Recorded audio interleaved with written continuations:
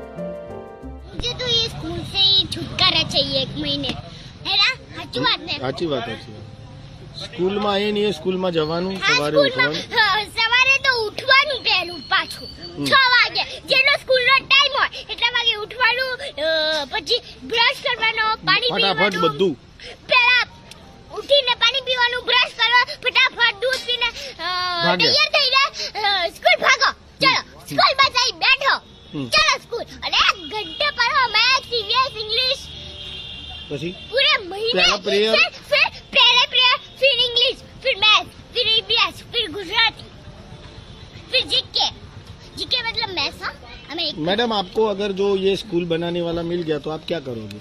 मैं उसे धोके ना पूरी पानी डाल दूँगा इस्त्री कर डालूँगी पूरी। घर में घर में। उसको पूछोगे कि तुझने सब कुछ अच्छा बनाया है भगवान ने? हाँ तो बस पढ़ना क्यों करना मना पढ़ना भी थोड़ा अच्छा ही तो मना देता तो हमको भी मज़ा आता। राइट तो भी मोदी को क्या मोदी को क्या कहना चाहते हो? पड़ेगा। मेरा नाम है रूही शाह और मैं फ़र्स्ट डे में पढ़ती हूँ। मैं सुबह से उठ के एक बजे तक स्कूल रहती हूँ। बाद में मैं ट्यूशन से घर पे और मैं तीन बजे ट्यूशन जाती हूँ चार बजे घर आती हूँ। बाद में मैं रात को स्केटिंग क्लास और ड्राइंग क्लास और कलर क्लास पे जाती हूँ। मैं नौ बजे से हमें जाना चाहिए और इलेवन ओ क्लॉक को छूट जाना चाहिए। और फिर बाद में क्या करना चाहिए?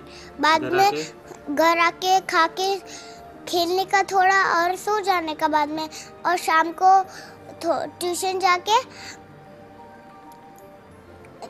सेवन ओ क्लॉक तक खेलने का बाद में एट ओ क्लॉक खा लेने का।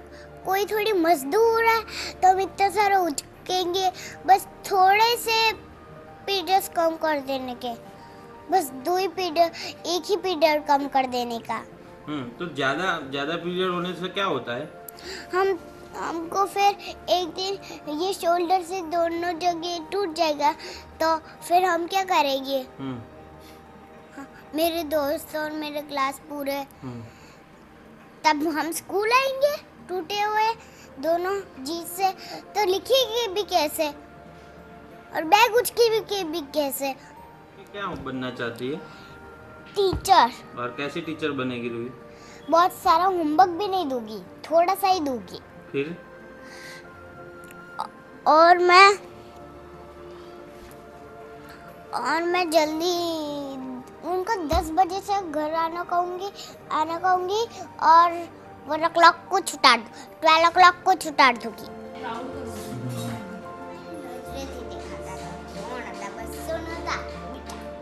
बस लोग को होता।